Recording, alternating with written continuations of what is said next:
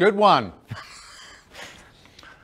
I wrote the last equation wrong on purpose because I wanted you to learn something important.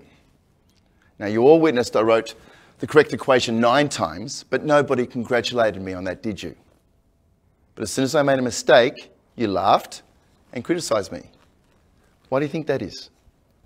Maybe it's because you're supposed to be smarter than us? yeah, and it's funny. I may be in a position of authority. But doesn't make me perfect or smarter than you.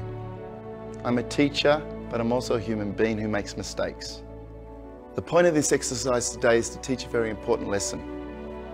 You will soon discover the world is quick to criticise and find fault, and much slower to praise and find the positive. You'll all experience criticism many times in your life.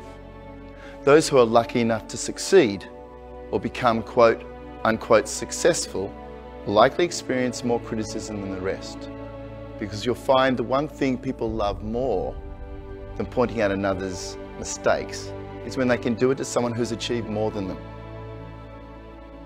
However, the person who criticizes others is only revealing the lack within themselves. Those who are happy within themselves need not point out the faults in others. So the three things I want you to remember from today's little exercise is first, try to notice the good in others. If someone makes a mistake, Try to let them know in a kind way. Praise more than you blame. The second is when, not if, but when you're criticised. Remember the good in you. Remember your great qualities. Remember you're worthy and capable of great things. And finally, remember criticism is something that you can avoid easily by saying nothing, doing nothing, and being nothing. So dream big.